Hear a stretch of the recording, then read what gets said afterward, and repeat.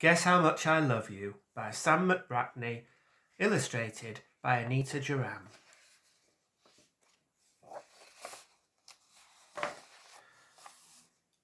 Little Nut Brown Hare, who was going to bed, held on tight to Big Nut Brown Hare's very long ears. He wanted to be sure that Big Nut Brown Hare was listening.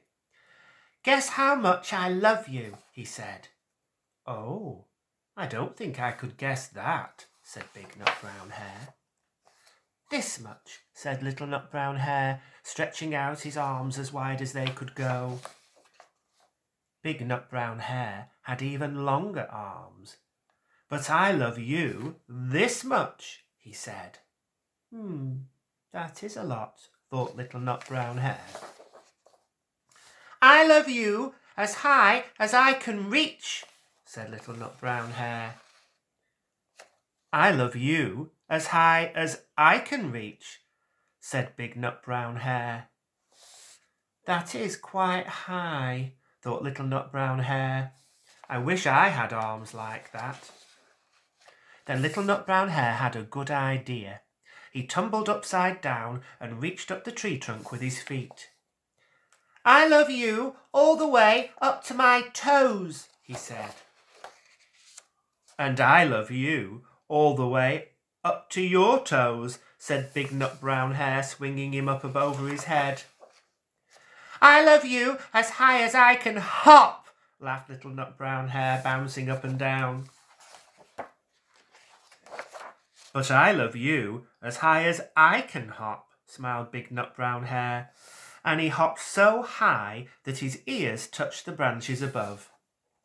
That's good hopping, thought Little Nut Brown Hare. I wish I could hop like that.